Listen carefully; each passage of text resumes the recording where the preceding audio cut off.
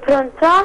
Eh, buonasera, chiamo dal Ministero della Pubblica Istruzione, vorrei parlare con Patrizia De Falco per cortesia. Sì, sono io. Eh, salve signorina, buongiorno. Buongiorno. Sono Caputi, la chiamo dal Ministero della Pubblica Istruzione per una comunicazione che riguarda il suo esame di maturità presso l'ITIS eh, Pozzuoli. Sì.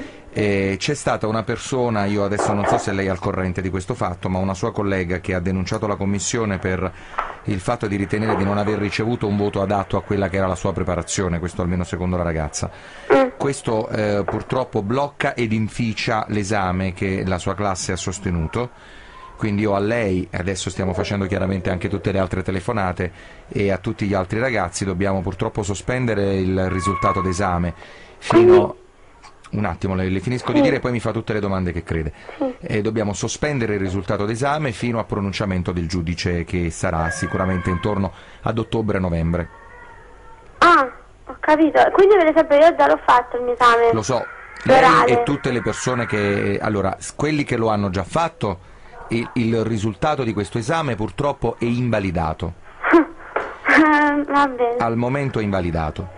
Ehm, questo purtroppo comporta anche una, pe- una penalizzazione sul voto finale, quando il giudice si sarà pronunciato eh, sulla validità o meno di questa, di questa cosa. Eh, Sì, quelli- però se alla fine lei non ha avvisato la classe che faceva questa cosa, quindi poi non è giusto che chi ha sostenuto l'esame Io non ho si dubbi deve che- pagare se non, ho dubbi, non ho dubbi, non ho dubbi che lei abbia dire, ragione. Eh, purtroppo, cioè, purtroppo lei ha ragione. se però- mi sono fatta ancora così per fare l'esame orale, mo mi sento dire che il mio esito è invalidabile, che non, non è quello. Purtroppo, È signora- uno della pubblica istruzione. purtroppo, signorina, le spiego che cosa eh, eh, succede. Quando, quando c'è un fermo... Mi serve...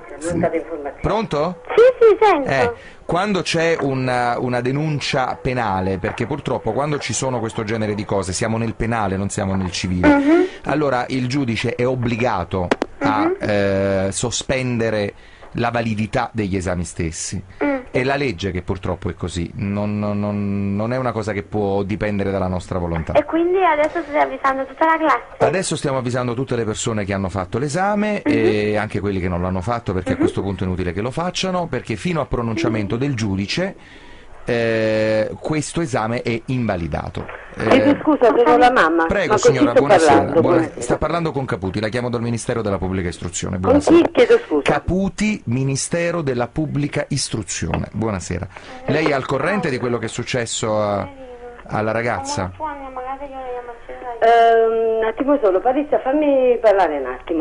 Lei è Caputo che... Caputi, Caputi. chiedo scusa. Spera, Eh, signora. in effetti è un impiegato, che cos'è della Sono, pubblica? sono- sono stato incaricato di avvisare i ragazzi di questa classe per la quale c'è stata una denuncia alla commissione da parte di una loro collega che purtroppo fino al pronunciamento del giudice, a causa di questa denuncia, il loro esame è invalidato. Per il momento. Vi arriverà ovviamente anche comunicazione scritta a casa, come eh, da termini di legge, ma... eh, Chiedo scusa se la visto- interrompo. Prego, si. Però è vero che mia figlia è da poco maggiorenne, però penso che queste cose non vengano dette né per telefono e né tantomeno Cioè, alla rivartezza. Allora, quello che, che lei pensa, le, glielo dico con grande sincerità e spero con buona educazione, a me interessa fino a un certo punto, io faccio il mio lavoro, so quello che devo fare, so quello per cui sono pagato, ehm, so che devo farlo perché noi siamo obbligati ad avvisare i ragazzi al telefono quando c'è una comunicazione così urgente. Evidentemente, evidentemente arriverà anche una comunicazione scritta. Ma guardi, anch'io lavoro nella pubblica istruzione, lavoro in una scuola superiore. Va bene signora, lei può, essere, lei può lavorare anche alla Presidenza della Repubblica. Appunto. Con tutta, con tutta la sincerità. Eh, la ragazza è maggiorenne, se me la passa gentilmente finisco di dire quello che avevo da dire, poi le arriverà la comunicazione a casa, poi lei visto che lavora nella pubblica istruzione sa benissimo che ha 30 giorni per fare ricorso, che si può cercare un avvocato, può fare quello che desidera. Ma il discorso è Io- questo, se la, mm, chiedo scusa, se la, eh, la- la signorina Yolanda.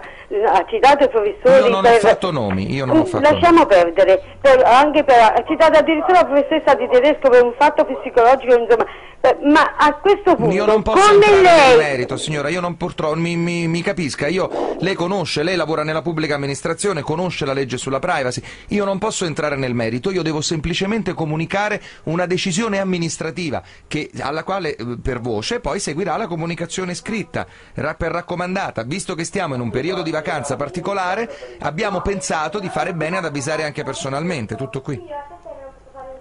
D'altro canto è la legge che ce lo consente, signora, si vada a controllare i regolamenti. Va bene? Ho detto quello che dovevo dire. Pronto? Sì, sì, la Ah, sento. mi sente, perfetto. Posso finire di parlare con la ragazza per gentilezza?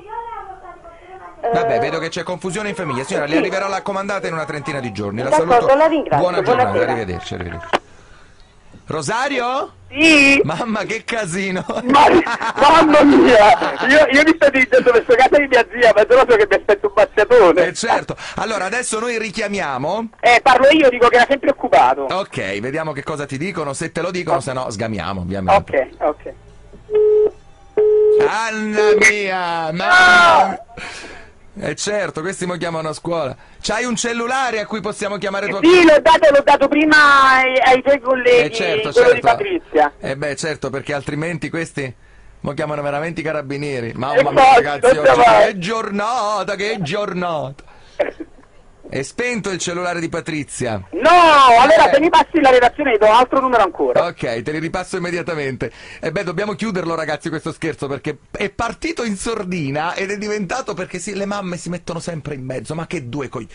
Ma che palle, madonna, quando le mamme si mettono in mezzo. Ma in maggiore, ma falla fa. Ma falla gambasta, voglio. Stiamo provando al cellulare della signora De Falco. Pronto? Zia. Eh, zia, sono Rosario. Eh, dimmi. Zia, ma ma come si fa per chiamare a casa tua che è sempre occupato? Eh, perché occupato, stiamo parlando a telefono, lo sa. Ma che è successo, zia? Che è sta voce? No, niente, ma mm, dimmi, che volevi? Mi trovo a casa, sto venendo Sì. da te. Sì, sì, vieni, mi trovi. Sì, mi Zia. trovi, vieni. Zia, ma tutto a posto. Zia. Sì, sì, sì, sì, sì. Zia. Sì, Ti vuole una persona. Signora, pronto? signora, la chiamo dal Ministero della Pubblica Istruzione. Sei uno stronzo. No!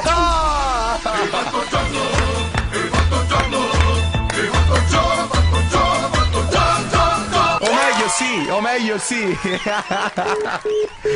Rosario? Sì. Eh, adesso valli a prendere a casa di tua zia, vai. Dai, infatti. Ciao, ragazzi. Grazie mille, un abbraccio grande, torniamo tra poco. Troppo divertente sto scherzo. Salve signorina, buongiorno.